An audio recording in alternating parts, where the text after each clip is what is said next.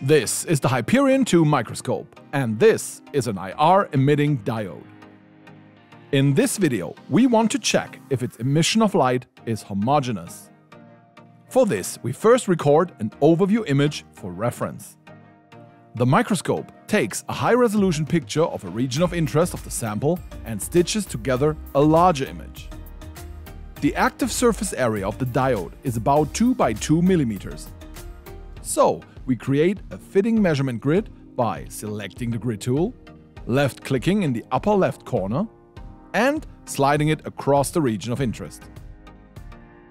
The grid now shows all measurement positions and can be adjusted in size and position to match your sample perfectly.